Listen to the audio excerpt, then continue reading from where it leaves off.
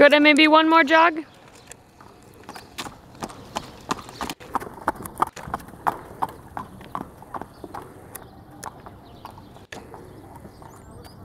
That's perfect, thank you.